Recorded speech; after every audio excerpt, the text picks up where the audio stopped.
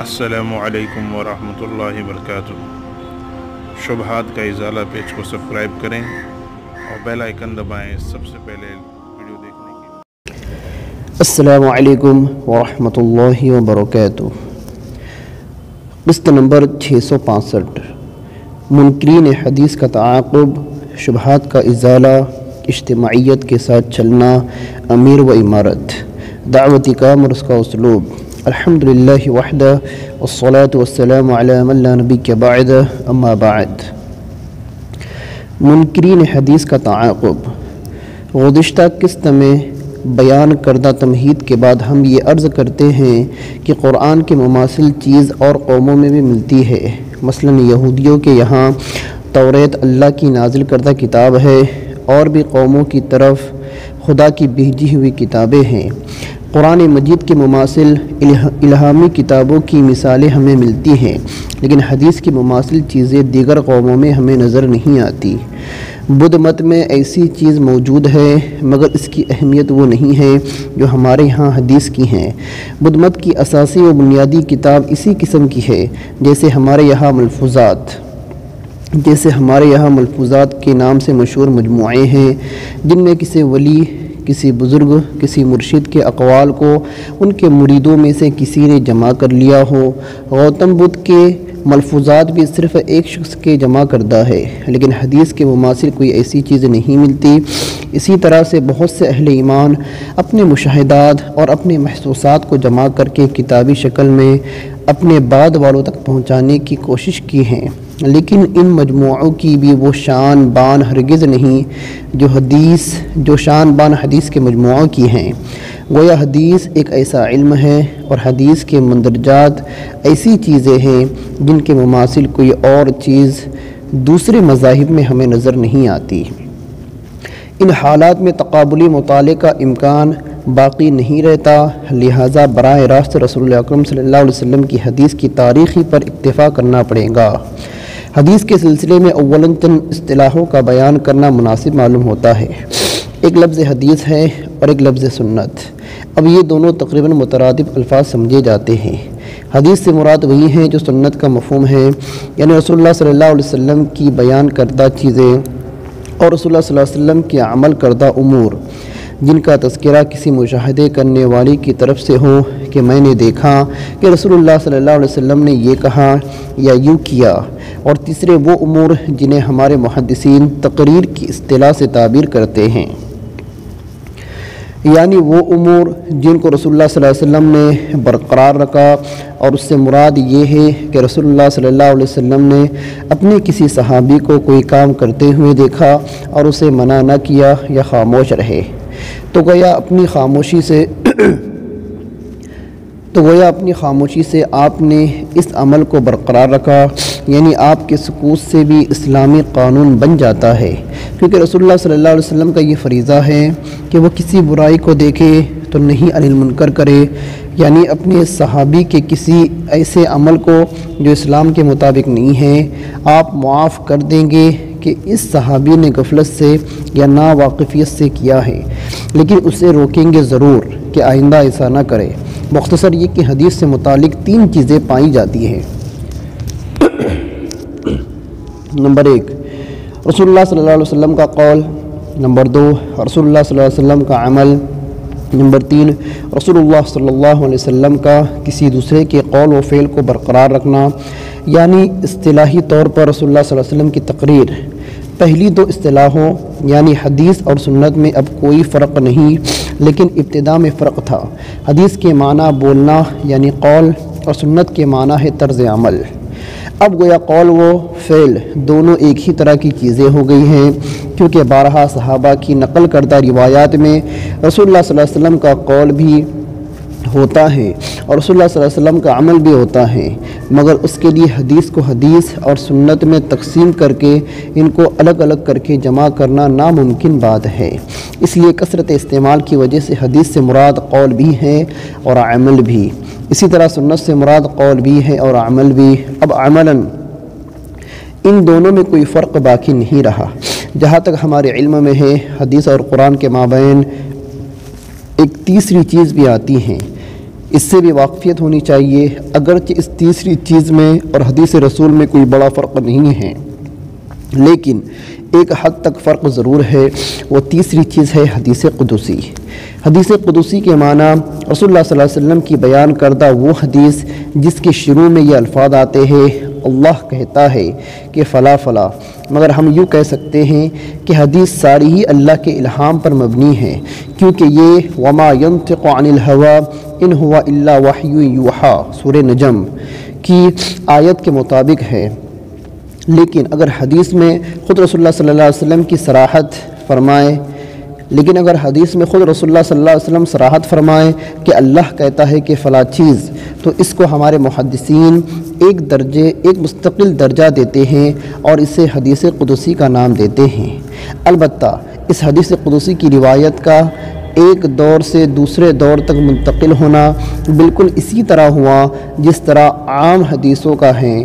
ہم ان میں کوئی فرق نہیں پاتے۔ ایسی حدیث کی ابتدا عموماً اس طرح ہوتی ہے کہ اللہ ضمیر متکلم کے ذریعے سے ایک امر ذکر کرتا ہے اور کہتا ہے کہ میں ایسا کروں گا تو خدا خود کلام کرتا ہے۔ اور اس کو رسول اللہ صلی اللہ علیہ وسلم ہم تک پہنچاتے ہیں۔ اس موضوع پر قدیم زمانے ہی سے متعدد محدثین نے کتابیں لکھی ہیں جو ہم بعد والوں تک پہنچی ہیں۔ احادیث پر عمل کرنا۔ نمبر ایک چونکہ رسول اللہ صلی اللہ علیہ وسلم کی اطاعت عذرو قرآن فرد ہے، نمبر دو، اور رسول اکرم صلی اللہ علیہ وسلم کا ذریعہ احادیث کے علاوہ کوئی نہیں۔ نمبر تین، اس لیے ضروری ہے کہ ہم احادیث کو یقینی طور پر رسول اکرم صلی اللہ علیہ وسلم کے اقوال و فعال تسلیم کرے نمبر چار، احادیث مبارکہ کو یقینی معنی احادیث مبارکہ کو یقینی مانے بغیر اطاعت رسول کا فریضہ ادا نہیں ہو سکتا۔ شبہات کا ازالہ اطاعت سے عام مفہوم یہ لیا جاتا ہے کہ اللہ کی اطاعت قرآن سے اور رسول کی اطاعت حدیث و سنت سے کی جائے۔ یہ مفہوم سراسر غلط ہے۔ اس لیے کہ اطاعت صرف اللہ ہی کی کی جائیں گی۔ رسول اکرم صلی اللہ علیہ وسلم بھی اللہ ہی کی اطاعت کرتے تھے۔ رسول اکرم کی اطاعت کا مطلب یہ ہے کہ اللہ کی اطاعت رسول اکرم نے جس طریقے سے کی ہے، اسی طریقے سے اطاعت، اسی طریقے اطاعت پر ہم اللہ کی اطاعت کرے گویا اطاعت صرف اللہ کی ہوئی، نہ کہ رسول اللہ کی۔ فرمایا رب الجلال نے کہ وَمَن يُطِعِ الرَّسُولَ فَقَدْ أَطْوَعَ اللَّهُ سورہ نساء، ترجمہ۔ جس نے رسول کی اطاعت کی تو گویا اس نے یقیناً اللہ کی اطاعت کی۔ حدیث، جس نے امیر کی اطاعت کی، اس نے رسول اللہ کی اطاعت کی اور جس نے رسول کی اطاعت کی، اس نے اللہ کی اطاعت کی۔ یہ حدیث صحیح ہے۔ تنبی یعنی امیر کی اطاعت سے روغردانی تک کو غنائے عظیم قرار دیا گیا۔ تو رسول اللہ صلی اللہ علیہ وسلم کی اطاعت سے منہ پھیر لینا کس قدر عظیم ترین گناہ کی بات ہے۔ لطیفہ اطاعت اس ہستی کی کی جاتی ہیں، جو ہستی جزا و سزا دینے پر قادر ہو اور وہ صرف اللہ کی ذات ہے۔ یعنی اطاعتیں دو نہیں ہیں، بلکہ اطاعت صرف ایک ہے، وہ بھی صرف اللہ کی۔ قرآن، قرآنی فرمان کے مطابق اطاعت صرف اللہ کی کی جائیں گی، اس کے علاوہ اطاعت کسی اور کی ہرگز نہیں۔ سوال نمبر دو۔ پرویزی و منکرین حدیث کہتے ہیں کہ اگر رسول اللہ کی اطاعت لازم ہوتی تو احادیث کی بھی اسی طرح محافظت کا وعدہ کیا جاتا جس طرح قرآن کے بارے میں محافظت کا وعدہ کیا ہے۔ جواب منکرین حدیث کا یہ سوال عامیانہ ہے، جس کا جواب اوپر کی سطروں میں دیا گیا کہ اطاعت صرف اللہ کی ہے۔ رسول اللہ کی اطاعت کرنا گویا اللہ کی اطاعت کرنا ہوا۔ جواب نمبر دو۔ قرآن مجید کی حفاظت کا ذمہ اللہ نے لیا، مگر احادث مبارکہ کی حفاظت کے لیے اللہ نے اپنے بندوں کو چنا اور انہیں توفیق دی کہ وہ رسول کہ وہ حدیث رسول صلی اللہ علیہ وسلم کی حفاظت کرے۔ اللہ کے ان برگزیدہ بندوں کی طرف سے حدیث کی حفاظت کے لیے اصول بنائے گئے اور حدیثوں کے مدارج ان کی حیثیت کی مناسبت سے طے کیے گئے اور لوگوں نے حدیثوں کو حفظ کرنا شروع کیا، وہ بھی حدیث کے اسماء و رجال کے ساتھ۔ تقریباً آٹھ لاکھ محدثین گزرے ہیں، جن کی ساری زندگی کا اوڑنا بچھونا ہی خدمت حدیث بنا رہا۔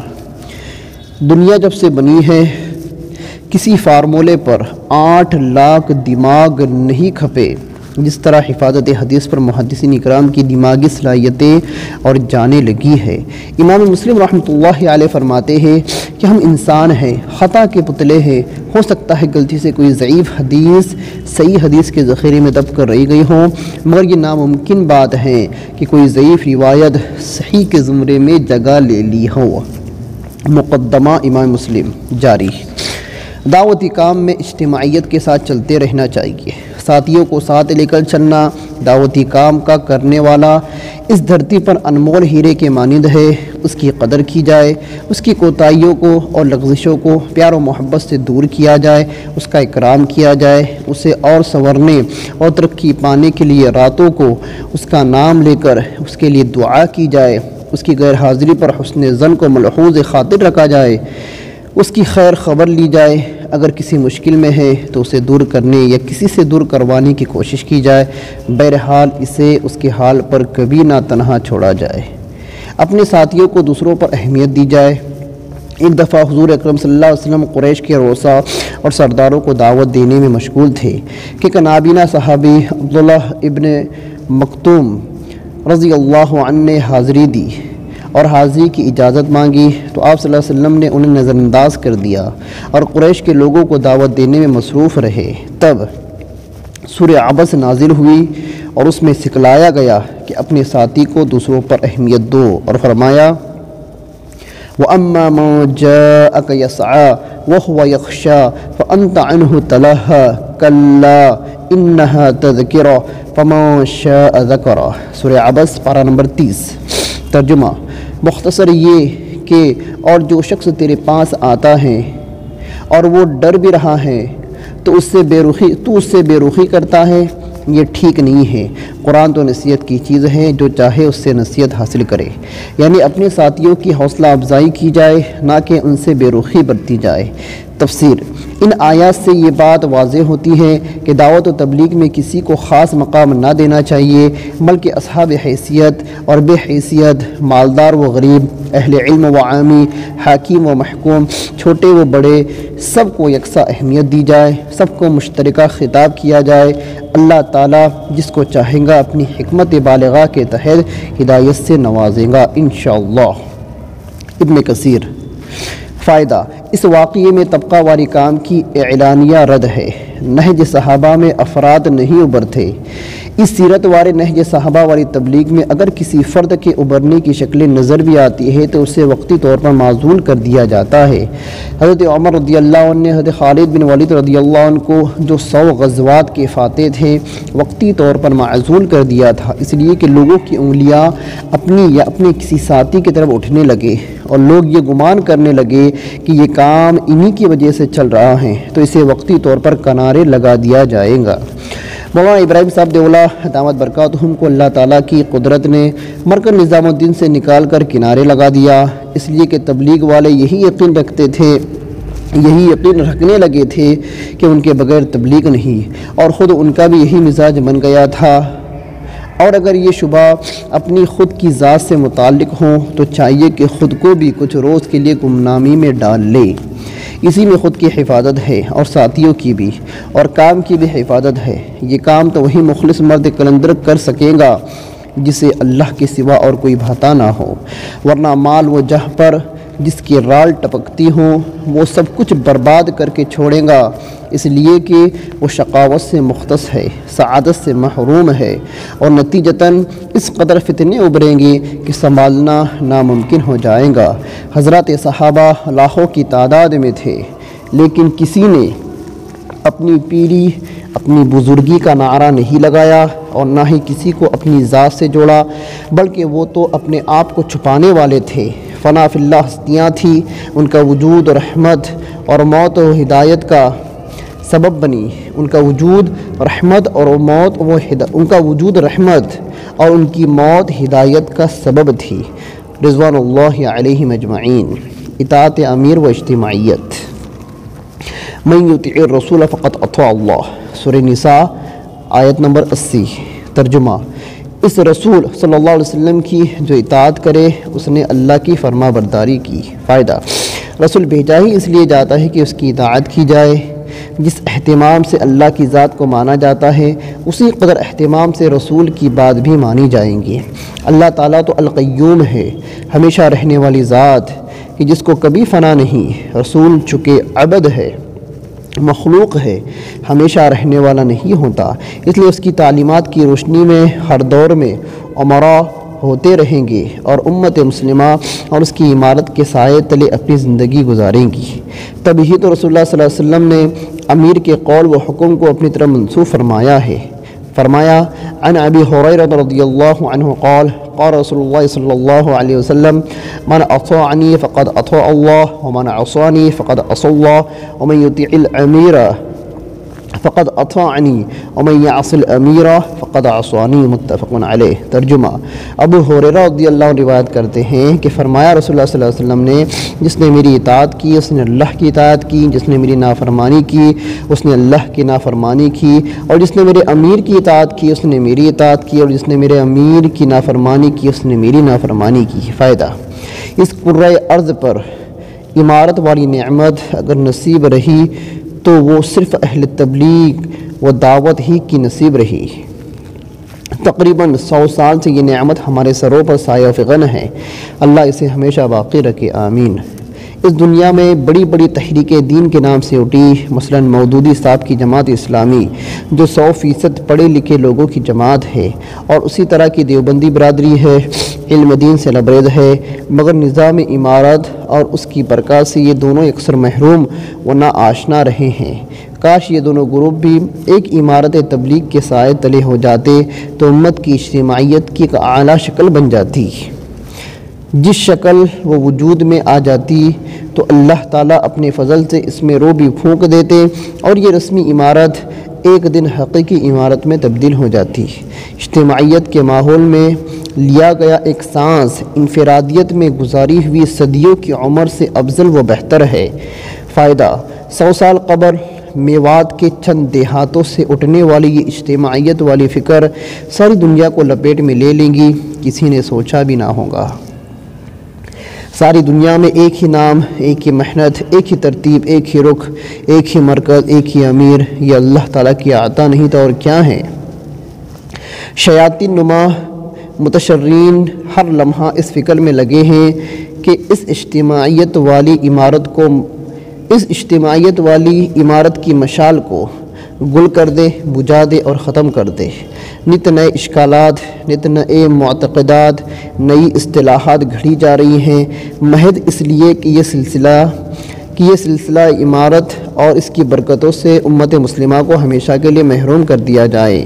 اور اس کار خیر میں وہ حضرات متحرک ہے کہ جن کے بڑوں نے اس سے ہماری مراد حد نانو، حد، حضرت قاسم نانتوی حضرت گنگوہی رحمہ اللہ ہے انہوں نے انگریزوں کے خلاف نبر آزما ہونے کے لیے راتوں رات ایک غیر معروف و دیہاتی قسم کے سیدھے سادے بزرگ یعنی حاجی امداد اللہ مہاجر حاجر مکی صاحب کو امیر مان کر بیعت کی اور اپنی مہم کا آغاز کر دیا اور پھر امیر محترم امداد اللہ صاحب سے حضرت حاجی امداد اللہ مہاجر مکی رحمۃ اللہ علیہ بن گئے۔ ماخوذ از سوان امام قاسم نانتوی رحمۃ اللہ علیہ، مصنف مولانا مناظر احسن غیلانی رحمۃ اللہ علیہ۔